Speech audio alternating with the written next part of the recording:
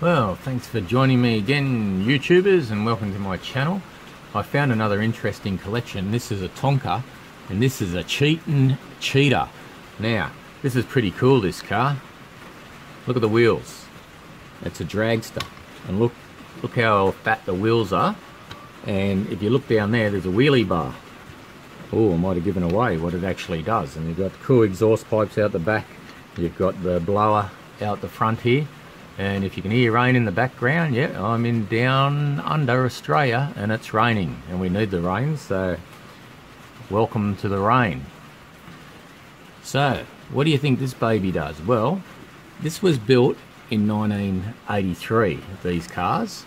So you can see they're like a plastic car, cool graphics, and you can hear this, but the wheels aren't turning. Is it broken? Well, now I'm going to show you something cool. It's not broken, so let me show you what this dragster can do. Okay, well here we are. I've got it set up on down on my little track here, and you can see I've got some other cars there, some of Matchbox Hot, Hot Wheels, but as I said, this is a Tonka. And this will free roll now, pretty cool, and reverse, pretty cool. But there's a button there, and that's the clutch, and I'm going to show you what this clutch does. So what you do is you push this button down, and as I said before, you're going to start hearing noises. So